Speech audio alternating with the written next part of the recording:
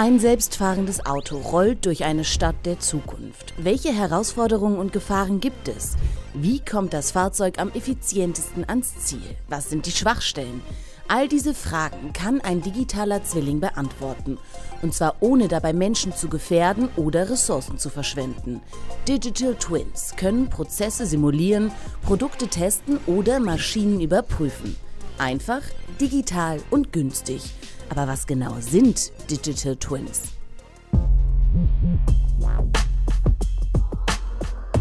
Digital Twins sind Zwillinge, die materielle oder immaterielle Objekte nachbilden, um gewisse Sachen hervorsagen zu können, simulieren zu können. Digital Twins sind also digitale Abbilder von realen Dingen wie Produkte oder Prozesse.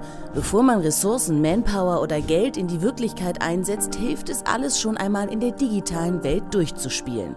Aber wie können die digitalen Zwillinge helfen? Digitale Zwillinge entstehen durch kontinuierliche Datenübertragung um eben gewisse Sachen nachbilden und abbilden zu können. Massenhaft Daten helfen den digitalen Zwillingen, die Wirklichkeit zu verstehen und nachzustellen. Man kann Verfahren testen und Produktionsprozesse optimieren. Trotzdem nutzen bisher nur 8% der deutschen Unternehmen Digital Twins. In der Industrie 4.0 wird sich diese Zahl aber in den nächsten Jahren deutlich steigern. Experten können in Echtzeit sehen, was gerade in Wirklichkeit passiert und bei Bedarf reagieren. Kontinuierliche Überwachung von Wasserversorgung, um frühzeitig zu erkennen oder simulieren zu können, ob irgendwo ein Ausfall ist. Oder zum Beispiel im Retail-Bereich, wo man gewissen, ein gewisses Geschäft simulieren kann und herausfinden kann, wie das bei Kunden ankommt schon bevor man es überhaupt alles aufbaut. Abgesehen von Datensicherheit fürchten viele Experten, dass Digital Twins viele Arbeitsplätze obsolet machen. Die digitalen Zwillinge sei eine sogenannte disruptive Technologie.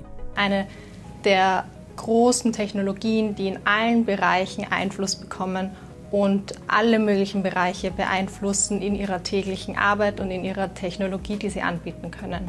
Die digitalen Zwillinge spielen im Internet of Things eine entscheidende Rolle. In Österreich gibt es bereits rund 80 Millionen sogenannter Endpunkte, also Sensoren oder Prozessoren, die eine Vernetzung der einzelnen Geräte ermöglichen.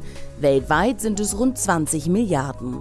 Diese können der Zukunftstechnologie wertvolle Daten liefern. 2020 wurde der Markt von Digital Twins auf 3 Milliarden US-Dollar geschätzt. Das soll bis 2026 schon auf 48 Milliarden ansteigen. Digital Twins sind schon Gegenwart, doch sie werden die Zukunft sicher verändern.